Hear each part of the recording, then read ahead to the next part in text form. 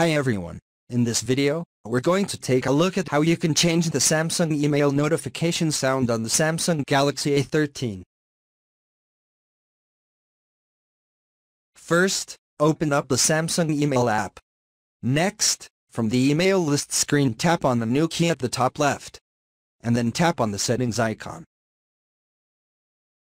Now we go down and tap on notifications, then tap on notification categories. Now select a category that you would like to change the alert sound. So for example, I'm going to choose new emails. Then go down and tap on sound. And then from the list, select the sound that you would like to use.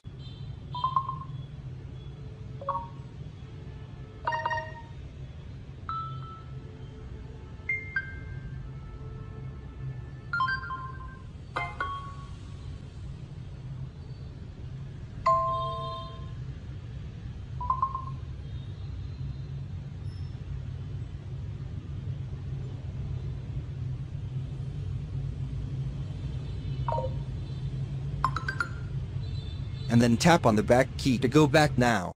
When you receive a new email, you will hear that new sound a lot.